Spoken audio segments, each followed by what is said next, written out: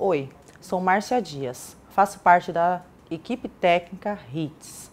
Hoje estou aqui para apresentar mais um bolo para vocês. Vou utilizar o wafer decorativo da coleção Carros 2.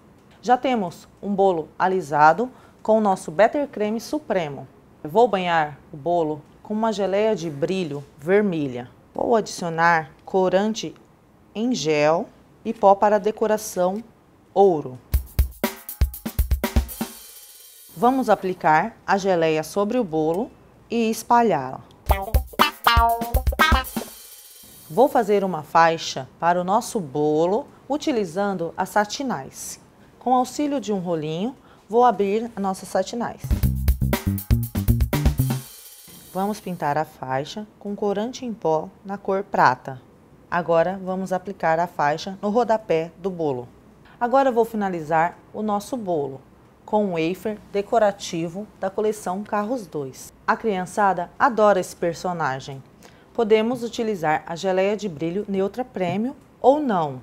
Neste caso, não iremos utilizá-la. Nosso bolo está finalizado. Espero que vocês tenham gostado. Até a próxima!